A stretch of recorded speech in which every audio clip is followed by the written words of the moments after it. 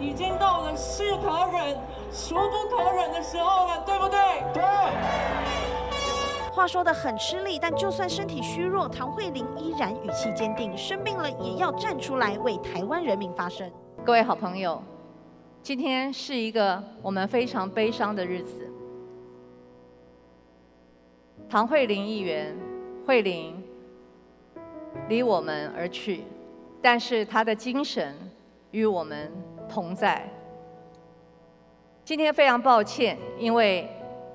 防疫的关系，所以我们会场里面是有人数限制，但是在现场，我刚才从捷运站一路走来，已经有非常多的热爱、喜爱慧玲的好朋友们，已经到达会场，准备要送慧玲最后一程。慧玲是一个侠女，他也是我们国民党的战将。在他从政以来，他努力的来用心问政、服务社区，在整个的市政上，还有他在为国民党打拼、监督执政党，他的精神非常的可佩。但是非常可惜，慧玲因为。病魔的一个折磨，在奋战之后，现在离我们而去，我们感到非常的悲伤。但是慧玲的精神以及她的遗愿，我们会努力的一起帮她完成。唐慧玲议员的行述是由唐慧玲的父亲唐爸爸一笔一笔亲尺亲手写下。慧玲生在军人的世家，祖父、外公都是抗日名将，父亲也是军人。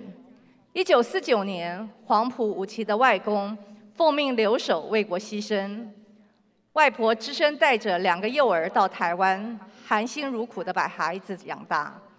慧玲也可说是外婆一手带大的，她自幼聪明伶俐，善解人意。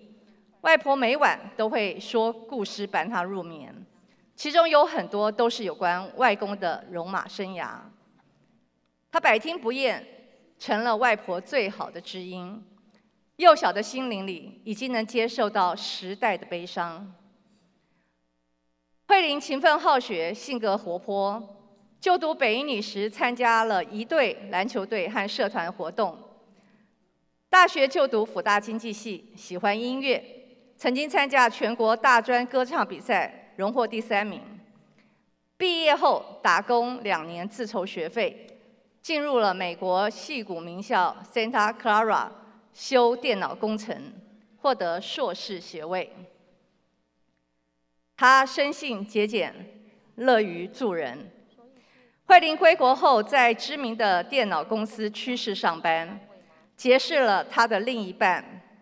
两千零六年红衫军事件，慧玲积极参与，站在第一线广播车上大声疾呼，经常因此而耽误了工作。国民党也注意到了这位年轻的女孩子，延揽唐慧玲到智库工作。就这样，她辞去了原有的工作，彻底转转换跑道，实践理想。有一天，他代替朱云鹏老师接下三立电视台通告，为民众发声，表现不俗，成为名嘴。二零一八年接受国民党提名，竞选新北市议员，高票当选。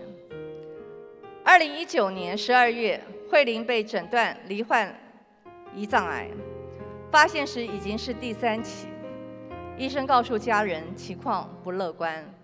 慧玲也知道自己的病况，但是她坚强的跟病魔纠斗，直到二十五日早晨五点结束她短暂而璀璨的一生，得年五十岁。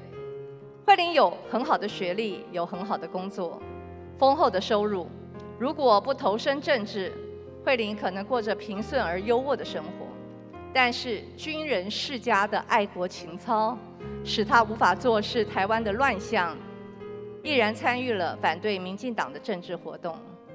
慧玲口才犀利，文史根底深厚，思维逻辑缜密，态度从容，在媒体上与民进党唇枪舌战，经常迫使对手词穷。慧玲性格耿直，在大是大非上坚持原则，从不计较个人的利益，所以很多人称慧玲为“侠女”。慧玲的身上，我们看到的是浩然正气，是中华儿女无私无我的爱国情操。除了对党对国的忠诚，慧玲也心系两岸的和平、民族的复兴。斯人也，而有斯己也。我们不能接受像这样纯洁、善良而有智慧的蓝营战将就此陨落。为什么？天不假年，慧玲是我们永远的侠女。我们相信慧玲不是离开我们了，而是在另外一个空间执行更重要的工作。